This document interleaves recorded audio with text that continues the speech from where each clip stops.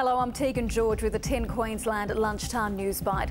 Kevin Rudd says he's very relaxed as he begins the week election campaigning in Sydney. A new poll shows Labor's primary vote has risen three percentage points to its highest position in three weeks.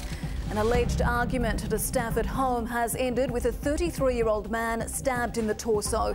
He's being treated at the Royal Brisbane Hospital for non life threatening injuries. A 50 year old man has been charged. An 89 year old woman reported missing overnight has been found safe and well. She was located around a kilometre and a half away from her Camp Hill home.